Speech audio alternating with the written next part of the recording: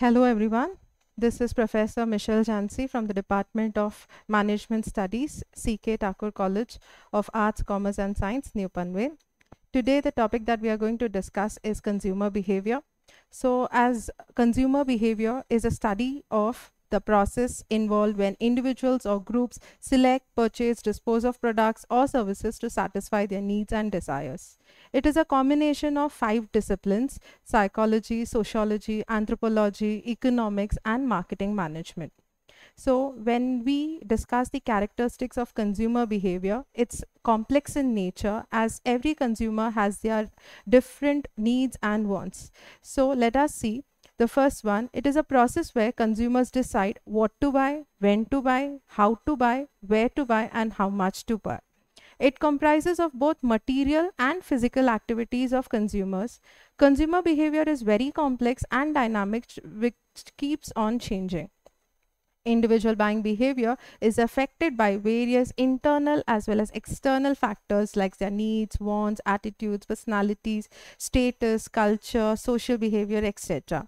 Consumer behavior starts before buying and even after purchase. So why is consumer behavior important or what is the need for the marketer to study the consumer behavior? It helps the consumer, uh, the marketers to make better strategies for the consumers, like um, uh, deciding on their pricing strategies, their product strategies, how it could be marketed. It helps the marketers to consider consumers' hygiene, fitness, health in making their decisions. It helps them to know the buying decision and how consumer is making consumption as there is a consistent change in consumer decision process it also helps the marketers to understand their taste the changing consumers taste and preferences.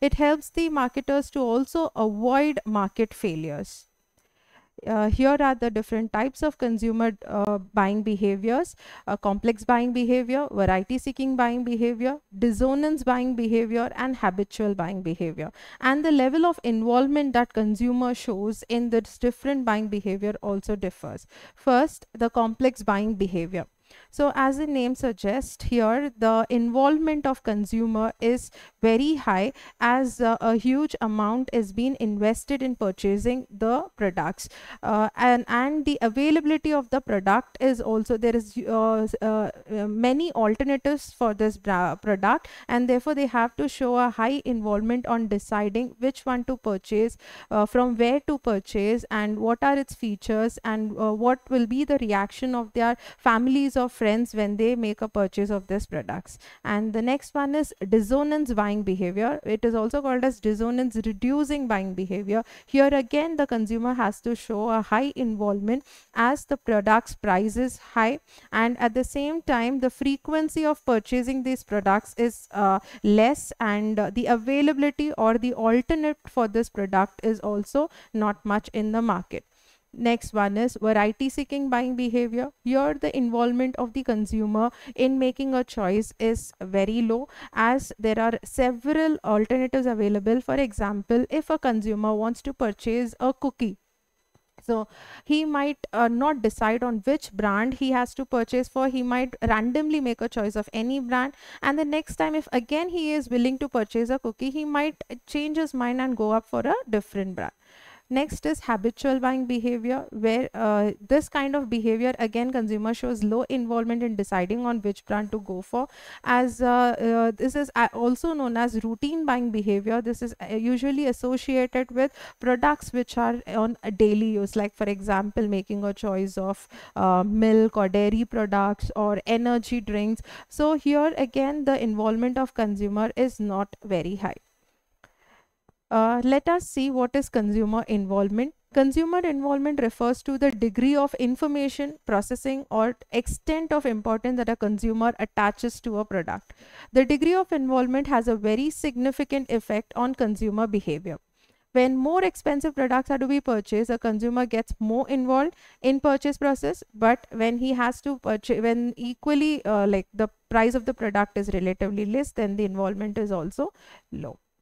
The levels of involvement of consumers are low involvement, there are some involvement and high involvement. So habitual buying behavior here the uh, involvement of the consumers are low. Here the products would be like uh, tea coffee toothbrush washing powders or any dairy products then he shows some kind of involvement in making the decisions. Like for example when he has to make a choice of purchasing any cosmetics or uh, snacks uh, the involvement of the consumer eh, uh, he shows very some uh, level or uh, very low level of involvement. And when it comes to high involvement products the decision that a consumer makes to invest on any product would be uh, the time period would be high and lengthy decision is taken. Uh, he has to uh, you know verify different uh, marketing efforts different brands. The examples of high involvement products would be cars um, properties diamonds etc so here are some of the examples wherein the consumer shows high involvement like when he has to decide on purchasing a car as it is an expensive product he has to show high involvement in purchasing it. Similar with the book. The cost of the book would not be that uh, expensive as compared to car but still uh, if, if he is preparing for any competitive exam the level of involvement he has to show to the book will also be high on selecting the right one. Same with medicine as well. Um, when a medicine is being purchased which may not be very expensive yet the customer may be highly involved in checking as to which would be more reactive. Now let us see the application of consumer behavior in marketing.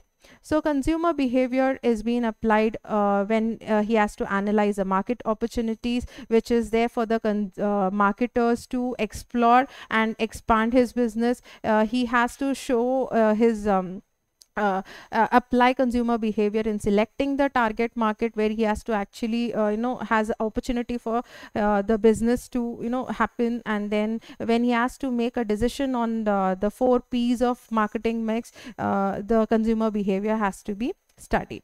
So this is the consumer decision making process. There are some uh, certain factors which influences the buying behavior as well like uh, social, cultural, psychological, um, economical, etc. So usually the consumer first has to recognize uh, the need for the product. Uh, is there actual uh, need for the product uh, and how much is he ready to spend for the product and then he has to um, gain information on the product like where is it available, what what would be the features what would be the price and uh, what are its uh, um, you know what kind of after sale service it is providing. And then he has to evaluate the different alternatives the different brand that is uh, that is available. He has to evaluate as to which brand would be more suitable for him. And uh, then he has to, he makes the right a decision of selecting the brand. And uh, finally he purchases the product and post purchase behavior is the feedback that he gives after purchasing the product. So with this we end up our today's session and we'll continue later. Thank you